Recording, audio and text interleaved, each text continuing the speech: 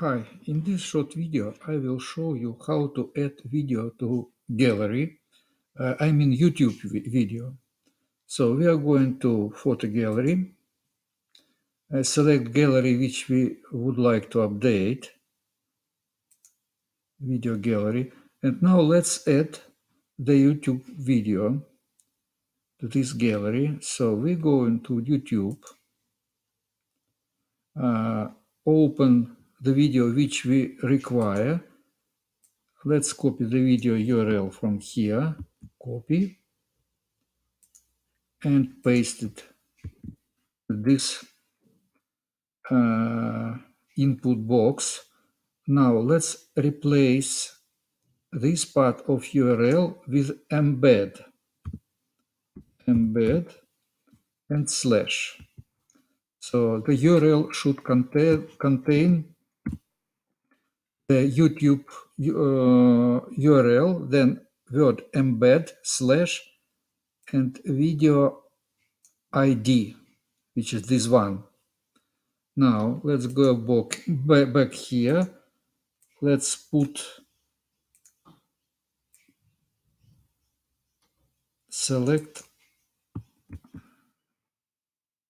the caption for this video.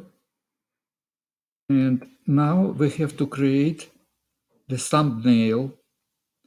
So we are using this tool, snipping tool, to create the thumbnail. Let's click on this. Let's create new thumbnail. Select the area which we would like to put and save it. Oh, sorry, again.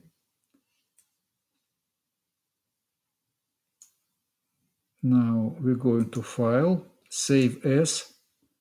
Make sure that we save it as a JPEG file. Just name it Capture as it is, save, and it's gone to the desktop now. Now we're going back to the studio and just drag and drop this thumbnail to the Dropbox. So this is done. This is our video now here. Let's go back to gallery, refresh the gallery. Just waiting. And we see our new video here.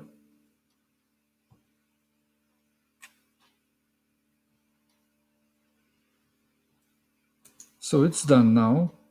Uh, you need to use snipping tool to create the thumbnail for the video. Uh, usually Windows contain this program by default. If you can't find it, so you go to start, or sorry, to uh, search and type snipping tools, snipping tools, and what you do, just start it from here or drop it uh, to the to the desktop or screen toolbar. So that's it for now. Thank you.